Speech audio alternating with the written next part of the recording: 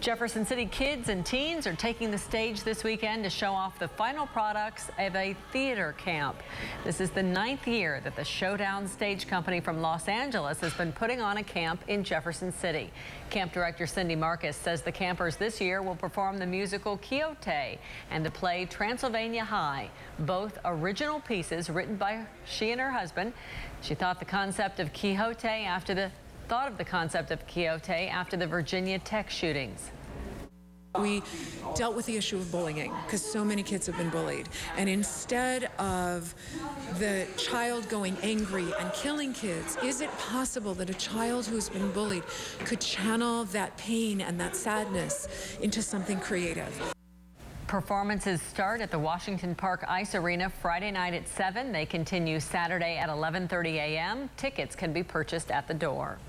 The United States Senate has passed a sweep